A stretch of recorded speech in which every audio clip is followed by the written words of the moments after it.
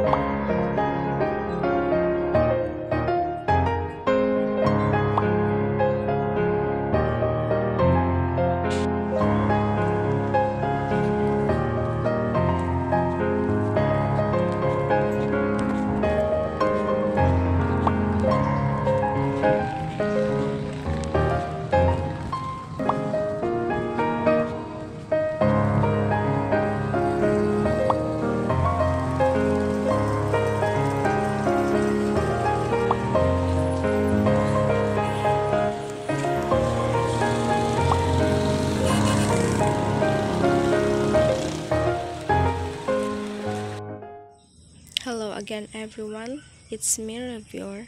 I decided to add my part 2 of dark aesthetic names here because the vlog is too short and I felt that adding some aesthetic usernames in the end of my vlog is not bad after all.